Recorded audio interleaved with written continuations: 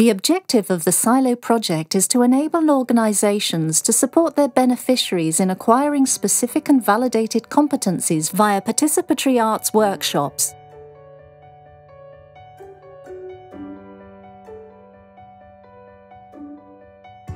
They can develop uh, different abilities, like uh, artistic abilities in painting or in music, and they also have an opportunity to of creativity.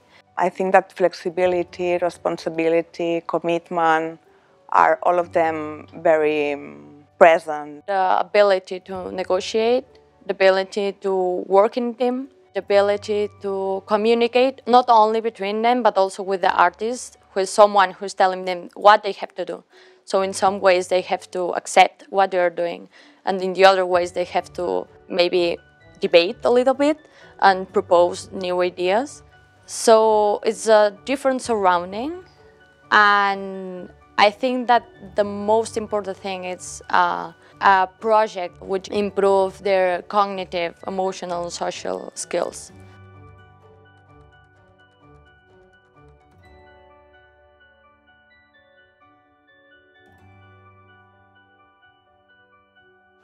I think the interesting part is that a more structured methodology is offered in order to use art with uh, our beneficiaries, mental health users, asylum seekers, unemployed youth.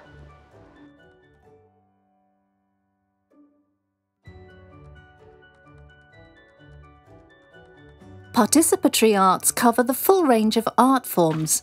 They are a response to the issues of the participants the work is personalised to maximise the benefits.